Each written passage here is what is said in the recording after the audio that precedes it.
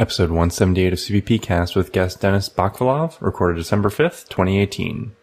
This episode of CppCast is sponsored by Backtrace, the turnkey debugging platform that helps you spend less time debugging and more time building. Get to the root cause quickly with detailed information at your fingertips.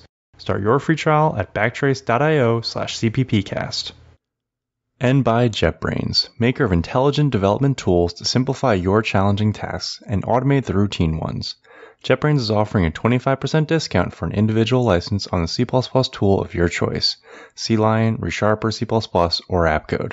Use the coupon code JetBrains for CppCast during checkout at jetbrains.com.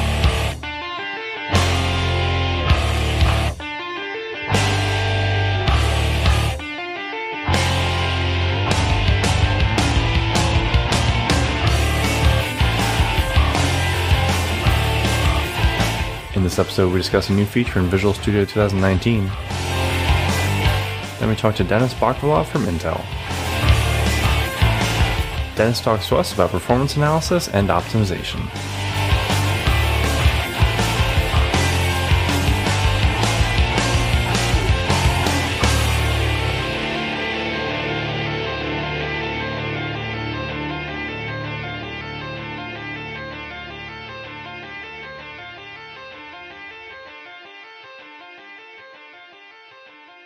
Welcome to episode 178 of CppCast, the first podcast for C++ developers by C++ developers. I'm your host, Rob Irving, joined by my co-host, Jason Turner. Jason, how you doing today? I'm doing all right. Rob, how are you doing? I'm doing okay. Uh, no real news on my side. How about you? Hmm, no, uh, I guess. Well, next year's starting to get busy, by the way, for training activities for me. I've gotten a lot of contacts at the end of the year, but um, that's about it. It's always exciting. Yeah, we're we're approaching the end of the year very very quickly. November went Yeah. by real fast. The next thing I have coming up is the first week of February for uh, C++ on Sea, Mm-hmm. where I'll be teaching that one day constexpr class. And so I have all of January to uh, make sure everything's fully prepared and ready to go. That's good. Very good. Okay, well, at the top of our episode, I'd like to read a piece of feedback. Uh, this week, we got a tweet from Barney Dellar, and he was replying to our episode with uh, Lenny last week, saying, It's nice to hear that I'm not the only one mob programming in C++. Thanks, CppCast and Lenny. And yeah, uh, mob programming sounded really interesting. Uh, I've heard of pair programming, pair programming, but never uh, mob programming. Yeah. Well, I've only heard of it from Lenny, so Yeah. Well, we'd love to hear your thoughts about the show. Uh, you can always reach out to us on Facebook, Twitter, or email us at cp, feedback at cppcast.com. And don't forget to leave us a review on iTunes. Joining us today is Denis Bakhvalov. Denis is a C++ developer with almost 10 years of experience. He started his journey as a developer of desktop applications, then moved to embedded, and now he works at Intel doing C++ compiler development. He enjoys writing the fastest possible code and staring at the assembly. Denis is a father of two. He likes to play soccer and chess. Denis, welcome to the show. Hi Rob, hi Jason. Nice, nice to meet you. I'm excited to be here. You know, I should say probably that um, I'm your regular listener from the episode number one. so I'm, Oh, wow. it's yeah. So I'm, I'm, I'm really happy to be here as a guest, not just a listener. Yeah. So you were actually listening from the beginning, or did you go and catch up at some point? No, I was actually started exactly at probably okay. My, maybe I'm lying a little bit. It was not the Wow. episode n- n- number one. It was probably the episode number three. Uh, I probably it, it was the episode with Manu uh, Sanchez. He was talking about the Okay. biicode. Okay. Yeah, so it's it was kind of really in the beginning. So I'm kind of with you Yeah. guys. Yeah, I think that was episode three, right? Oh yeah, That's awesome. Thanks for uh, being with us for so long. yeah. Okay, well, Denis, we got a couple news articles to discuss. Uh, feel free to comment on any of these, and then we'll start talking about more of the, the work you're doing at Intel with performance analysis, okay? Sure. Okay, so this first one is a meeting C++ and meeting embedded trip report from the Conan team. And I think this is the first year with meeting embedded, right? Yes. Yeah, so they went to, to both conferences and, uh, they, they said the meeting embedded, uh, conference was, was quite good. Uh, they presented a talk there and, uh, yeah, I- I'm, I'm happy to see that they're, uh, going forward with this, uh, new conference. I hope it does well for them. Yeah, I still want to listen to that talk. Uh, we stopped teaching C. That's still on my list to do, but I haven't. Have you looked to see how well the uh, videos are going up? I haven't. I, I meant to because I was interested in watching Andrei's keynote from Meeting C++, which is also covered in this trip report. Right. Yeah. So the uh, the what is the next big paradigm was Andrei's keynote, and uh, I'm a little curious as to to what it was really about because in this trip report he says uh, he first explored how the next big things for C++ programming in the general world were perceived at the very beginning. Threads, online voting, NLP, privacy and ranges. I'm, I'm not sure what they mean by online voting. Like, do they mean political voting? I don't have any idea. Yeah. So I was curious about that. I need to go and, and watch his talk. Yeah. Denis, did you go to Meeting C++ or Meeting Embedded? Um, unfortunately not yet. Yeah. But actually, I also saw that, uh, th- there were a number of talks about the performance and about the, the data-driven, um, um, data-driven development. Um, so this kind of, I think, becomes the trend. I, well, I'm not sure, but that, that's, you know, uh, that's my just guts feeling. Um, I might be wrong, but probably everyone see, see it, uh, how it, how it wants it to be. So, right. Right.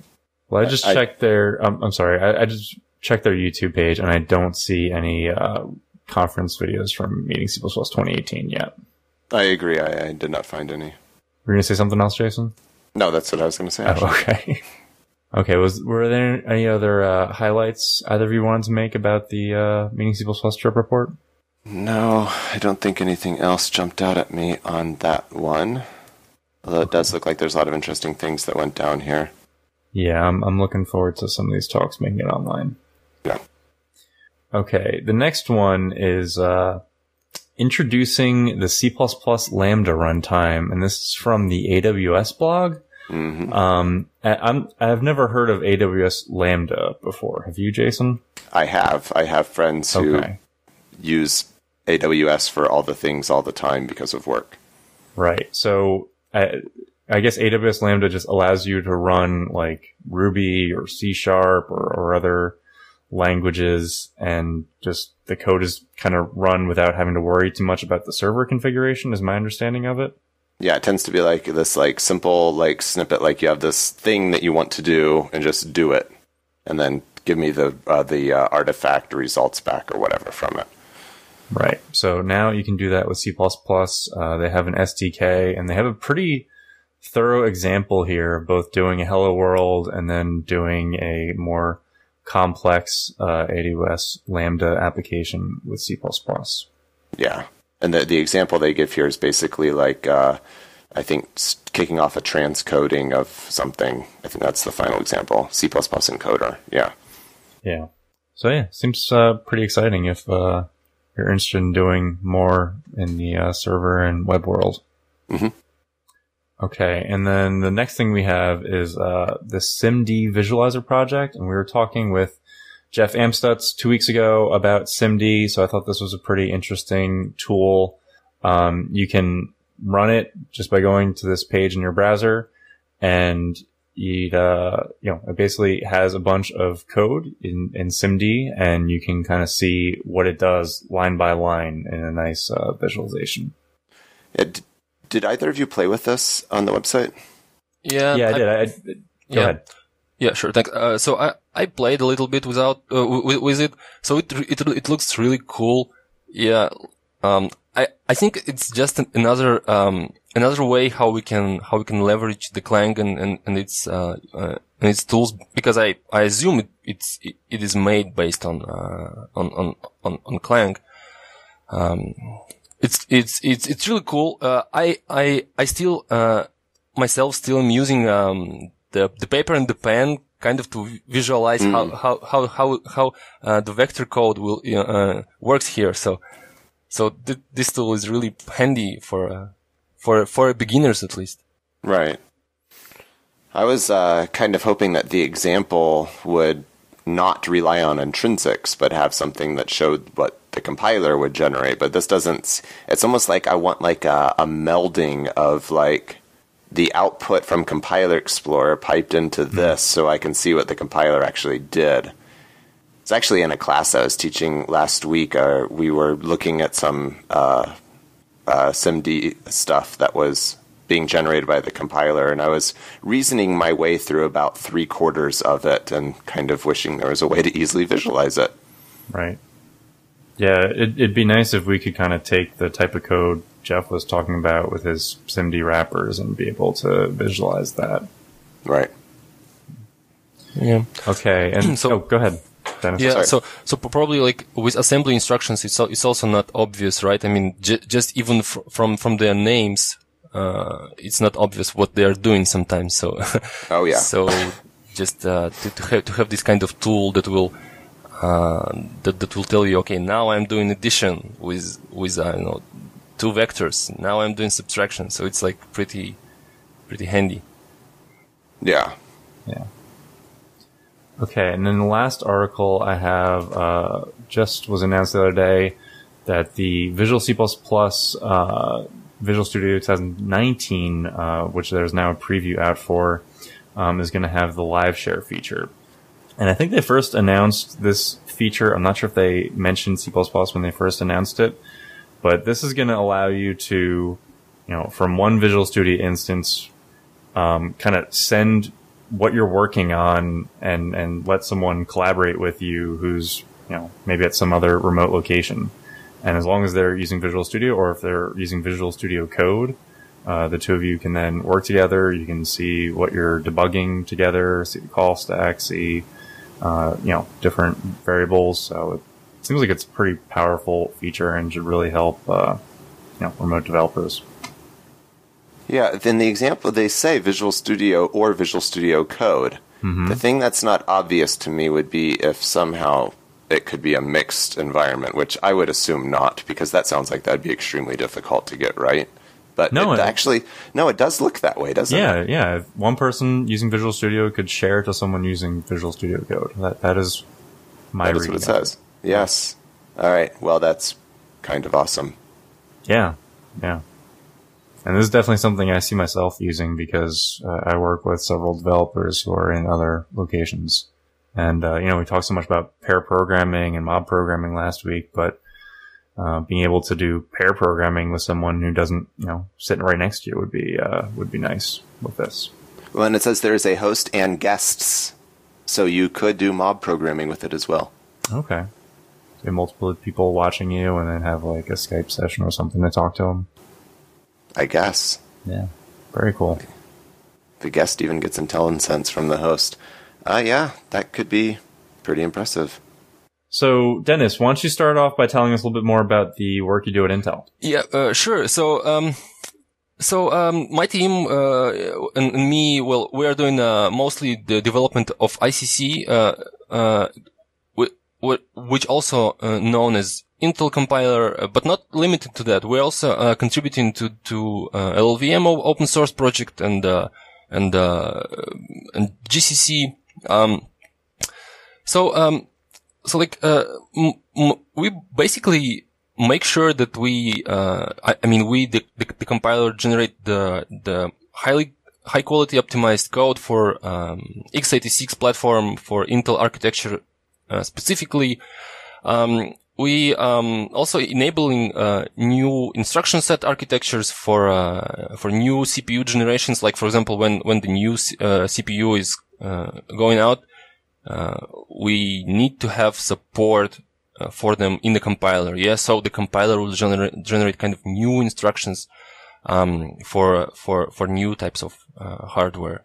So that's basically what what we're doing. Uh, uh, so when you say you contribute to LLVM and GCC, that that is the kind of things that you contribute as well as to their optimizer code Yeah, yeah. generator. Yeah.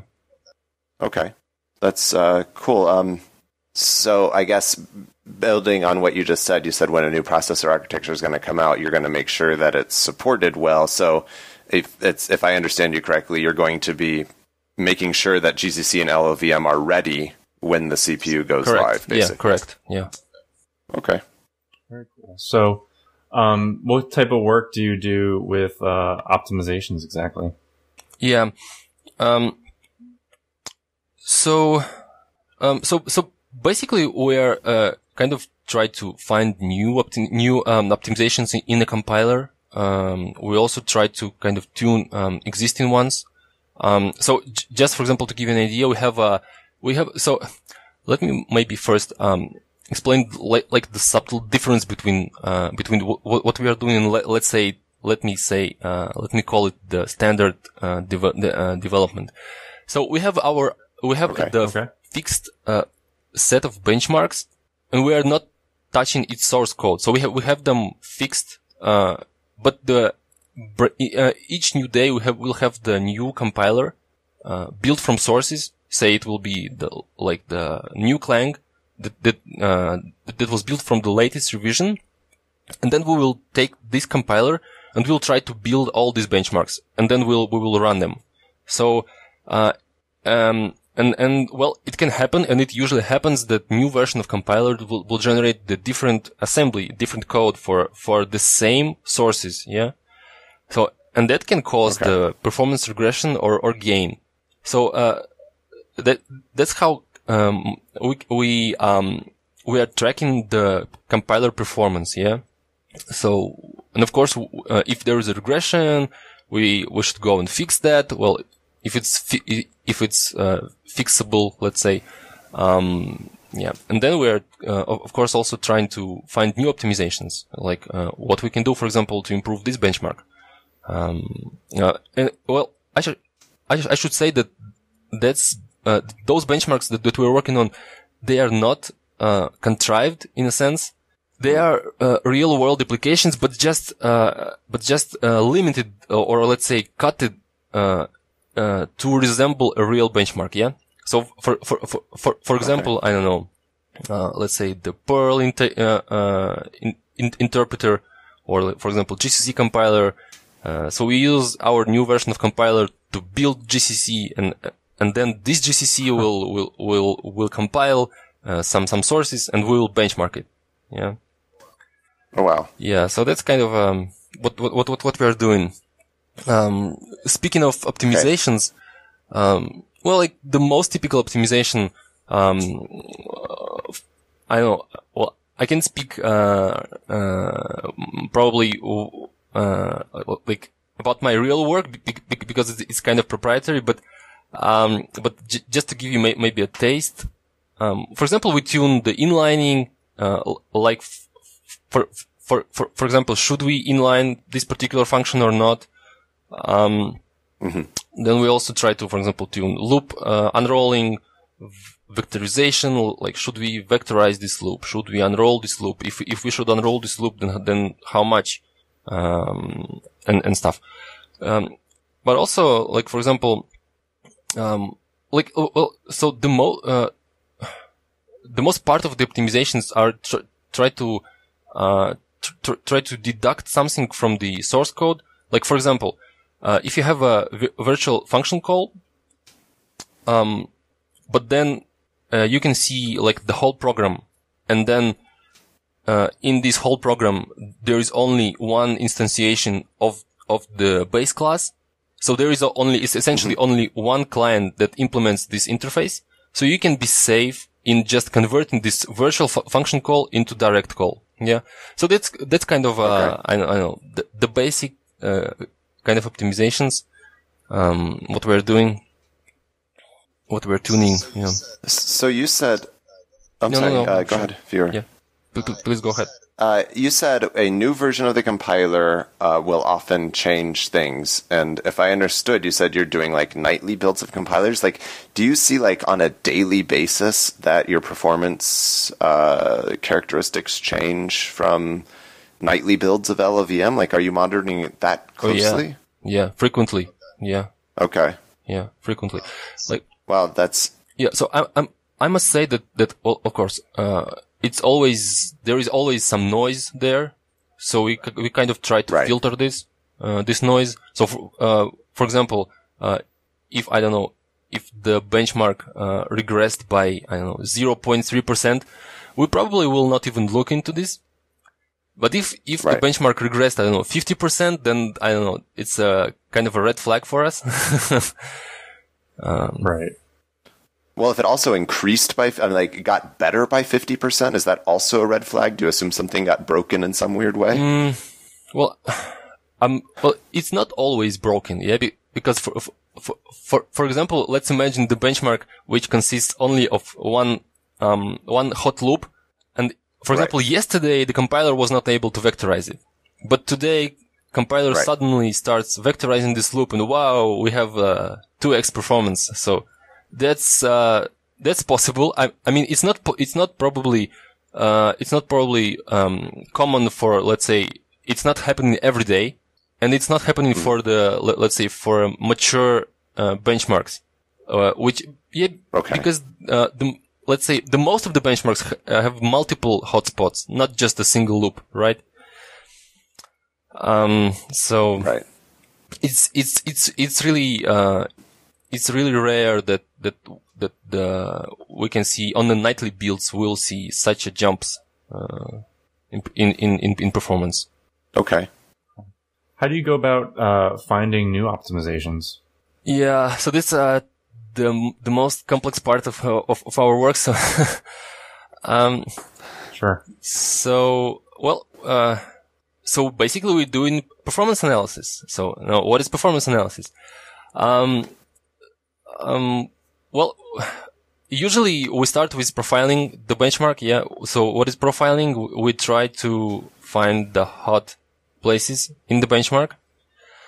Um, then you kind of can, uh, can just, uh, go and probably you, you, if, if you look in, in, in, into the profile, it will show you, um, the hot uh, source line, uh, source lines, um, or maybe assembly instructions. If you will go uh, into this assembly view, um, and then you probably can spot some inefficiencies there, or you will come up with with some idea how you can make it better. Well, so this of course also requires you to to to have some uh, knowledge in reading assembly, and I'm and, and I know that uh, not a lot of people these days uh, are, are, like doing this. I mean, uh, looking and reading in assembly, but but still, um, this knowledge is, is is really essential for uh, for for for for doing good performance analysis. Um, um, yeah, so um, so what you try, uh, what you can try to do next is, is for example, you can uh, uh, you you you can try and ju- just hack the assembly if it's I mean. Mm-hmm uh, mm-hmm. if you, if, if, if you can do this, so, uh, doing like, uh, quick experiments. Um, oh, okay. Yeah.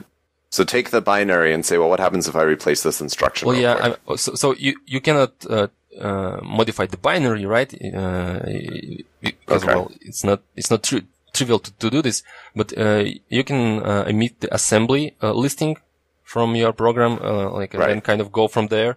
Or actually, so, um, like, mm-hmm there are maybe also the high level, uh, the higher level uh, tools that we can use. For example, the, the, compiler has something that is called optimization reports, and it's, mm-hmm. it's, it's, also actually uh, in, integrated into the compiler explorer. So uh, there is a separate kind of window that you can uh, put on the side um, with along with your source code and assembly, and it, right. those optimization reports will show you what compiler did for you, uh, like w- with with your loop, for example, was the function in, uh, in inline or not?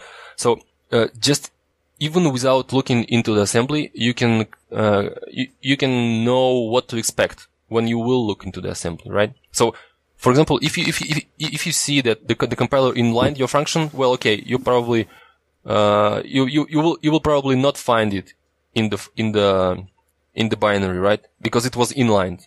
So right. Um, and the same goes for for loop unrolling. It shows you the the the factor uh, with uh, uh, with which the loop was unrolled. Uh, it shows you the vectorization uh, report. So was the loop uh, vectorized? If yes, then what what was the vectorization factor and and so on. Yeah. So th- this kind of a, a higher level. For example, if we see that that the loop was not vectorized, well, then we probably will, will, will think like, oh, okay, is it possible at all to, to vectorize? If yes, then uh, then probably it's a matter of cost model, and we should and, and we can probably tune it. Yeah. Okay. So when you make one of these determinations, you say, okay, this loop could probably be vectorized. You prove that you did, and then you implement some changes in the compiler. How often do you end up causing a regression in some other bit of code? oh yeah, that's that's actually the, the question that I was expecting. yeah. so, um, and it happens all the time. Really, I well oh, yeah, unfortunately, it happens all the time. I actually, I actually have a number of, of, of great examples that you will like. Yeah. So, okay. Yeah. So, um, so like usually when you have a, like the, really the big suite, uh, of benchmarks, uh, it's not, mm-hmm. it's not really possible that, that you will optimize one benchmark without regressing the others. Um, it's just okay. It's just it's just, it's just uh, let's say a reality. We can we we should um, all agree with this. Um, but so so uh, actually so the the reason for this um uh, well okay and and you might actually might be doing really a uh, a good thing a, a, good thing yeah I, I mean you can do uh, a real good optimization without really harming everything else but still have a mm-hmm. regression on, on some benchmarks. So like, for example, uh, your optimization removes, uh, a couple of, uh, unnecessary assembly instructions. Yeah. That's, that's clearly, okay. that, that sounds, like, like a, really thing. good, good, good yeah. thing. Yeah. Um, right. and, it, it, and, it, and, there is no way how it can, how it can affect, let's say, uh, other benchmarks in a negative way, right? But for, but for some uh, okay. reason, but but for some no. reason, you see that, that, oh, you have a, a, regression on, on on on some other benchmarks. So um, and the reason is this uh, for, for this is actually quite quite interesting. And now let me may, maybe give you an example. Um, uh, so imagine you have a a benchmark with, with only one hot function and just a, mm-hmm. just a simple function, let's say it's take one, uh, one array is just iterating o- over this array and I- increments each element by one, for example. Um, and life is good. You have some numbers, uh, for your benchmark. Uh, you, you are tracking it. And then one day, uh, someone inserted another function that is, that, that is completely called, that is, uh, no one is calling this, this function, but it happens to be just before uh, the, f- the function that you are measuring. Yeah. Okay. So it kind of just stays in the binary. It was not eliminated from, from the final binary by the compiler. It's just there. Um, but what, okay. what happens is just actually that your hot function was moved, uh, down in, in, in the binary. And now it it has mm-hmm. the different offset. Yeah. And just by doing this, right. uh, I saw the cases, uh, um, where performance goes up or down by 25%. Like 25% is just huge. It's just eno- enormous for yeah. us. Like most of our optimizations are like inside 2%, 2, 3%. Like if we implemented some optimization which, which gives, I don't know, 5%, it's like, I don't know, we can celebrate right now because it's just a huge money for Intel. yeah. So, mm-hmm. um, um, yeah, so I, I actually wrote a blog post about this. Uh, so, and, and yeah, oh, okay. uh, with exactly this, uh, this thing, uh, this notion and, uh, well, this problem calls the, uh, is, is called like, um, code placement or code alignment. it depends, who, okay. who, you ask. Um, yeah, so, and actually, so if we, if, if we look into this, so the only thing that changed is the uh, is the layout uh, of of this function in memory, right? Nothing else uh, was touched. Mm-hmm. Um, um, so and, and and it's not only uh, l- limited to the fact that was uh, now my function. So so so is now my function occupy uh, multiple cache lines or not? So so it, it's well, it's usually um, um, yeah, go ahead. Yeah. Okay. Mm-hmm. Uh, no, I was just thinking through what you're saying. So, like, if it was in one cache line, but code Yeah. pushed it, and now it's across Yeah. two cache lines, or code pushed it because it was across two cache lines, Right. and now it's in one yeah. cache line. Yeah, yeah. So Okay. we should probably say that it's instruction cache line, right? Yeah, but Right. uh, yeah, but it's not limited only to ca- to, to iCache to instruction cache. There are also a number of of uh, structures uh, in the CPU front end which kind of uh, which can be the bottleneck in this in in in, in those kind of cases. Um, Okay. Yeah. So what do you do about it? Yeah. Like once this has happened, like do you have any way of fixing this or it seems like it would, it would make the binaries get very large if you tried to always ensure that every function started on a cache alignment or correct something. yeah correct yeah so uh, so the first problem is that the um uh, that that the binary size goes up. Uh but but the second problem is that if you will try to insert nops into the binary Uh-huh. uh, okay you can probably insert them before the function. Um that's probably uh w- w- will cost you nothing because they will still not they will be not executed. Um but Right. let's say, uh, but actually, so the, the functional alignment is not the end of the story. So we can also align the loops. Um, and, the, and if we will Okay. uh, misalign or choose the the bad alignment for our loops, uh, we can also we can also cause damage to, to let's say uh, to our performance. Um, Right. so, and if we will try to align loops, we can insert the nops that will be executed. That's probably still, uh, still cheap, but not, uh, but not, let's say, cost free. Right. Because it's Okay. still, we still need to fetch them and decode the, the nops, right? And, and then we'll, we'll, we'll probably just, just throw them away. But still, we need to fetch and decode them. Um, so, and actually, uh, Well, and it's, yeah, go ahead. it seems like the nops are also taking up space in the iCache, Yeah, right? absolutely. Yeah. Yeah. Okay. Yeah. Just making sure. in the in the iCache, and also there is a um, de- dedicated uh, UOP cache. It's uh, another um, structure in in the front end, which kind of uh, try to caches uh, the the instructions after they were decoded. Yeah. So we so it's Okay. I didn't yeah. know that So it's, existed. it's kind Okay. of um, when we are when when we when we already f- f- fetch the instructions and now we try to to fetch it again, we will not fetch it because we already have it decoded in in in our UOP cache, so, called UOP cache Right. decoded cache. Yeah. Okay, so I'm, I'm going to risk making this more complicated in, in the questions here that we're talking about, but you, so uh, a function gets added, it changes the cache alignment, you do something to tweak things so that you get back the performance loss, whatever, maybe you come up with a no op that you is worth the cost. And then, well, you're, I don't know, hypothetically, you're testing on an eighth generation core processor. And then do you go and see what the impact was on adding that NOP to like a fourth generation processor? Or like, do you, do you test regressions backward or are you always on the latest hardware? Well, yeah. I mean, I mean, we do this. Uh, we, we we we also track like like the uh, the the, pre- the previous generations. Um, but well, well Okay. let's say to some extent, yeah, because uh, because well, again, the, uh, there is always noise, and we we should we should s- s- Right, some- somehow right. defend from from from from from this noise. So um, okay. so probably what what we can do actually we can we can uh, and, and and and we are doing probably this. Uh, we making the threshold for for noise for the older platforms like a little bit bigger than uh, so uh, than the newest generations.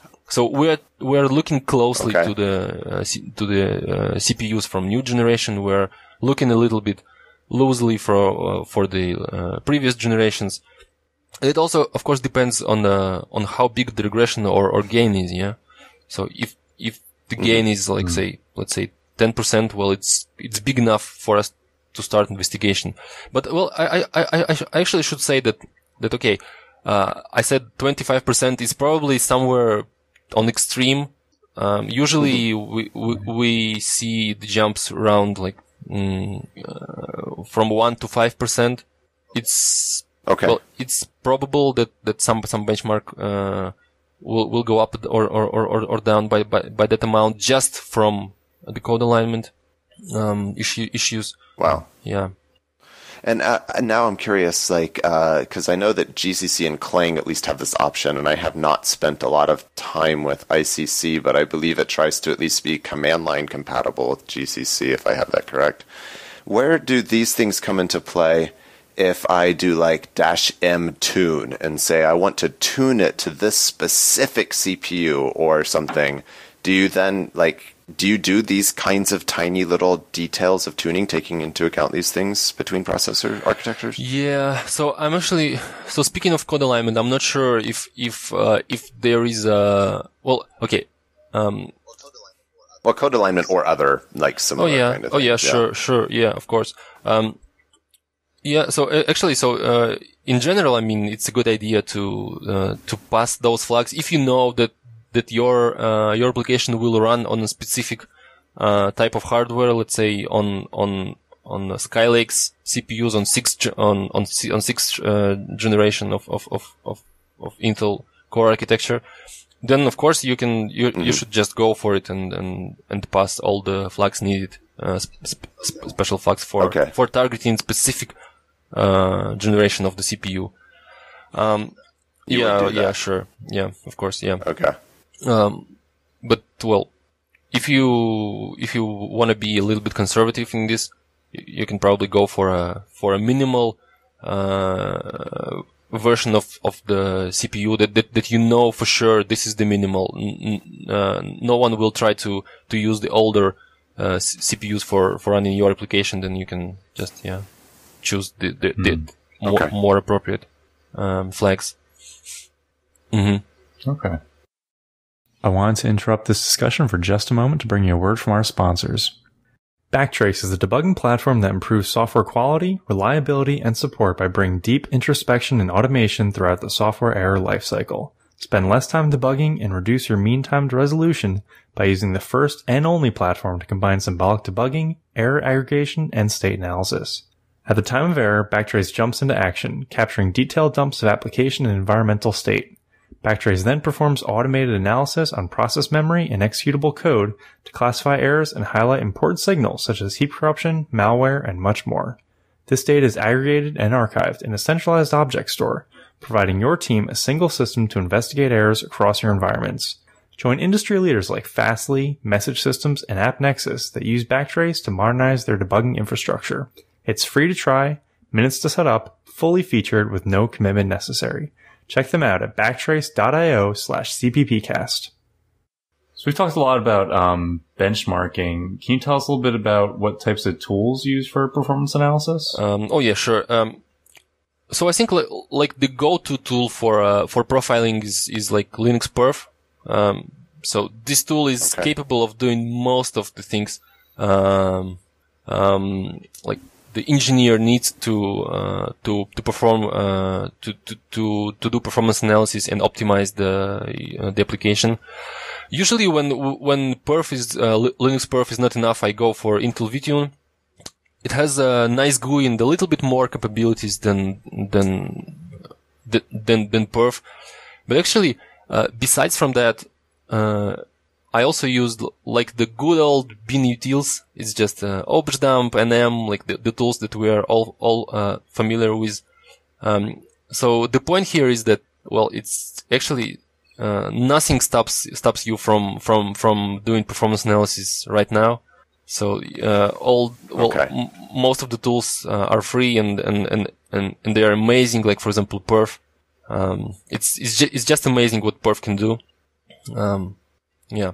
You've mentioned Compiler Explorer. I have to ask, how often do you use Compiler Explorer to give you a quick snapshot of comparing what your work has been across different compilers? Right, correct.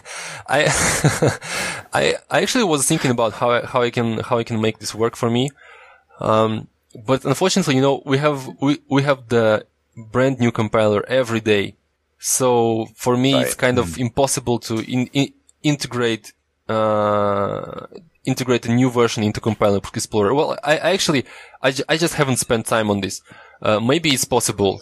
Yeah, if you're running it locally, it would actually be pretty easy right. to do. I actually kind well, I don't make a build every night, but I I do just use whatever my nightly build is. Yeah. Right, but then you can you you you, you should in- integrate them all um, into into compilers Oh. for. I mean, if you have a number of compilers, uh, nightly, Nightly snapshots, snapshots being yeah, pulled in. which were built. So you should somehow then integrate Yeah. it and then keep the history.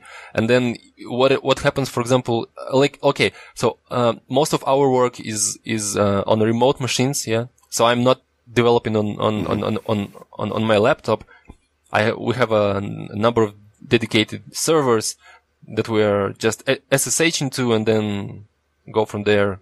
Kind of build the the compilers, build the benchmarks, run them. So it's kind of, I think, pre- will be pretty hard to do. Right. Yeah, it would be it would be a lot of work. Probably possible. See if Matt's listening and he decides that you can add a wild card for your search for your compiler or something. And Right. I don't. Yeah. So I'm I'm curious, like as you're like optimizing this code and working on all of these benchmarks, what kind of things do you see as like really hard to optimize? Like what should what should C programmers stop doing so that they get better code out of our compilers? Yeah. So, um, well, the most obvious thing is is like do not try to uh, to do the compiler's work because the, the compiler is probably better than you at this.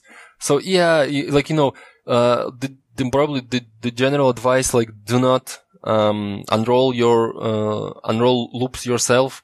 Um, compiler will probably do it better. Um, I don't know. Okay. Do not try to inline things. The, the compiler will, will probably still do uh, do it more aggressively than than you can. Um, What about the inline keyword itself? um, Or always in I assume you should say don't do always inline because the compiler knows better. yeah, yeah, Okay. yeah. So um, mm, speaking of uh, in in inlining, um, inlining keyword. From the top of my head, I'm not sure if uh, so if this uh, if this keyword is actually still uh, still uh, makes sense. Well, uh, obviously the the no inline attribute makes sense because it's it's kind of prevent the compiler from from inlining. Um, yeah. Okay. But, so actually, uh, I, I remember th- there was a great post by Simon Brand who uh, who, who who actually uh, dipped uh, uh, dived deep into in, into specifically this problem. Like, is inline keyword still make sense? And he he he, Okay. he has a great uh, article on this topic. Okay. Let's look for that. So yeah, so don't try to do the compiler's work Yourself. Uh, I like that. um, but then what? do- I like. Uh, uh, it's almost a little depressing how you said something so simple like adding a function can push our code around and have implications that we never Right. expected. Yeah. What do we do about that? Like, do we worry about that at all? I mean, yeah. Uh, so actually, we spend uh, some efforts on on trying to to figure out how we can solve this problem. Um, and actually, so we we haven't uh, we we haven't. I I mean, uh, got to any any any good good decision about this. Whenever we choose, like for example, Okay. to uh, to align, let's see, all the loops by by, by for example, uh, by this 32 bytes boundary, let's say. Some of our benchmarks go goes up, but some were, uh, some of the benchmarks still goes down. So, uh, in, uh, in the end, it's still kind of the same. The performance is, is still kind of the same. So, um, Okay. um, so this, this problem is still kind of unsolved. Uh, and, and in, the, in this problem, I should say, uh, is the, probably the most, um, mm, the most harmful for us, uh, for, for compiler developers because uh, because the problem here is that you cannot rigorously test your optimization, yeah, because some of Right. the benchmarks will go go up, but some goes down, and you want to know why they goes down, but the reason probably is that j- just because of the noise and and and the um, um, and different placement, uh, different layout, yeah. And there, is, there are actually, actually more also, uh, interesting problem. Like, for, for example, okay, so let me now ask you the question. So how, how do you think, does debug information affect, affects performance? Like, okay, so we pass the minus G option to, to the compiler. It will, it will emit Yeah. all the, all the, these sections, uh, in the binary with debug information. So I feel like it must have some effect because it's Yeah. making the binary larger. just because of that right reason. but then we okay then then then we start thinking that okay so the debug information is just stays in the binary and, and in, in the run in the runtime it's not even loaded into the main memory right it just stays on the disk Okay. so so how we- uh, I, I mean well probably in ideal world it should not affect performance right it sounds like a trick question, honestly. like, right. So actually, uh, so what we did, uh, so I, and, and okay, uh, just saying upfront, I saw the cases when, um, and I actually worked on the cases that, uh, you pass the minus G option, um, uh, and you have, like, okay, so you're building the same application, you pass the minus G option, uh, and bu- bu- building the binary number one, number A, and then you uh, build the same uh, application without um, without debug information, so without passing the minus G. You have the binary number B, and then you s- strip the debug information from the binary number A, uh, from the binary A, and just the dump in the assembly and compare it. uh huh. And, And it's different, yeah. I'm guessing. okay. So uh, it's not that different, let's say, but but there is some difference still.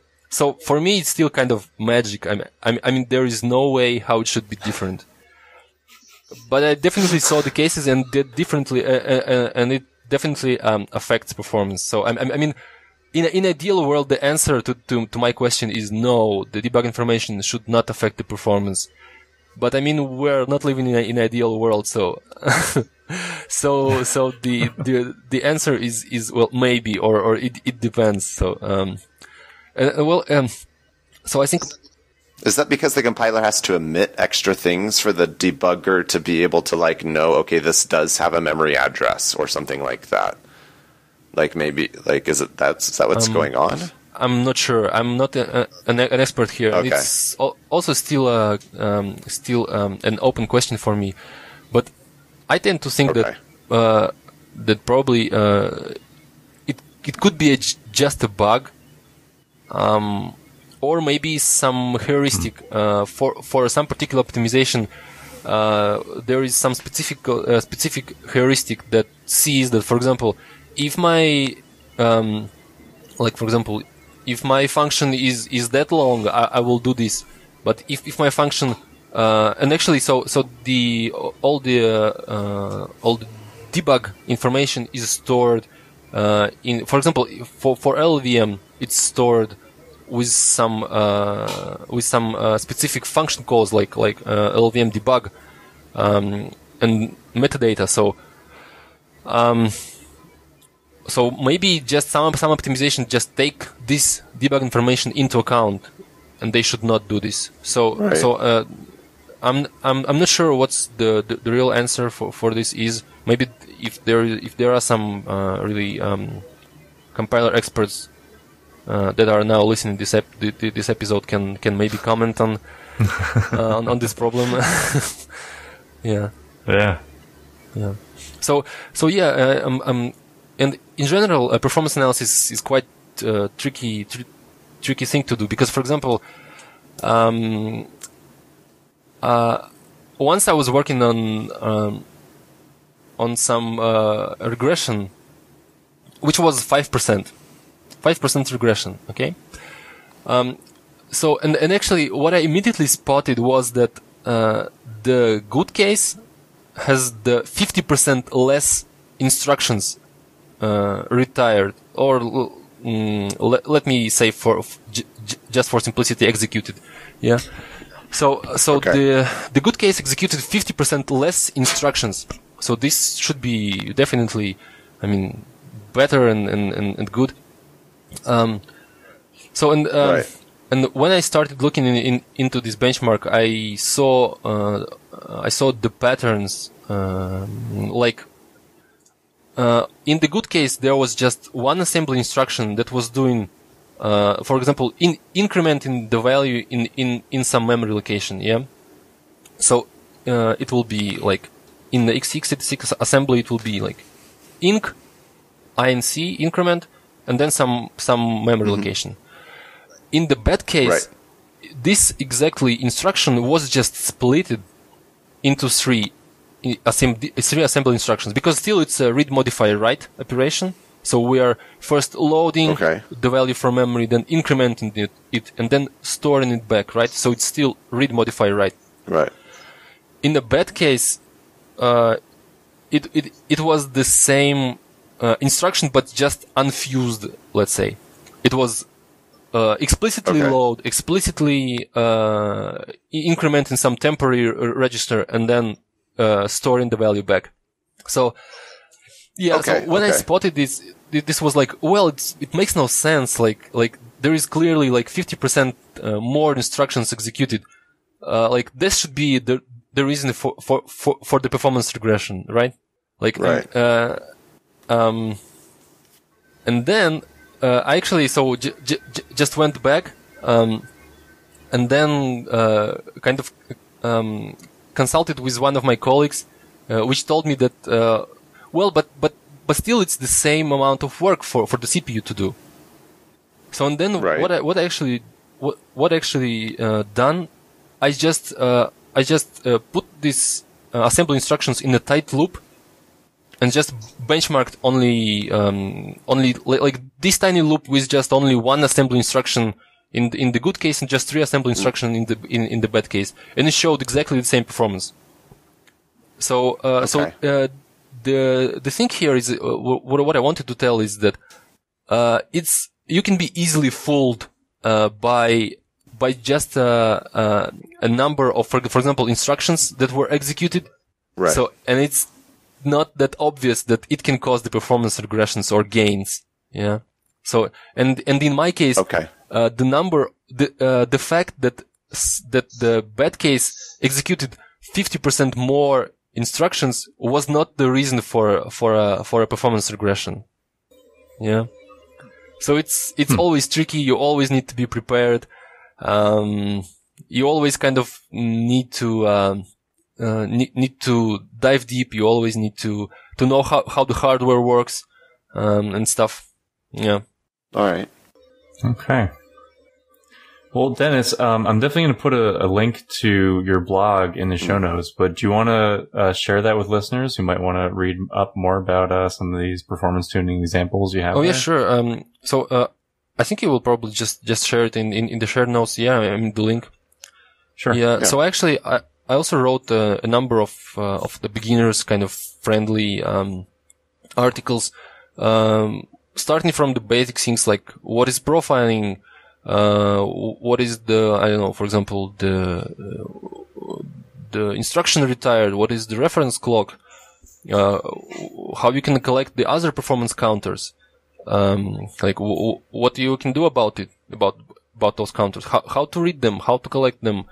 Um, a little bit more of advanced topics like uh, like what is the what are other capabilities of the performance monitoring unit and how you can leverage that. Um, yeah. So what you what what you can do is with perf, for example. Um, yeah. Well, where can people uh, find you online aside from your blog?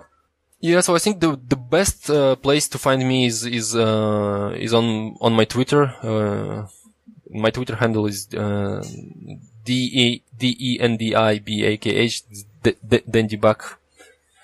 Yeah, Okay. Cool. Okay. Well, it's been great having you on the show today, thanks. Denis. It was it was a pleasure. Thank Thanks you very much, guys. Thanks so much for listening in as we chat about C++. We'd love to hear what you think of the podcast. Please let us know if we're discussing the stuff you're interested in, or if you have a suggestion for a topic, we'd love to hear about that too.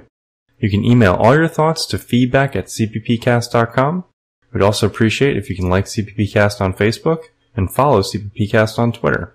You can also follow me at Rob W. Irving and Jason at Lefticus on Twitter. We'd also like to thank all our patrons who help support the show through Patreon. If you'd like to support us on Patreon, you can do so at patreon.com slash cppcast. And of course, you can find all that info and the show notes on the podcast website at cppcast.com. Theme music for this episode was provided by podcastthemes.com. Website at cppcast.com. Theme music for this episode was provided by podcastthemes.com.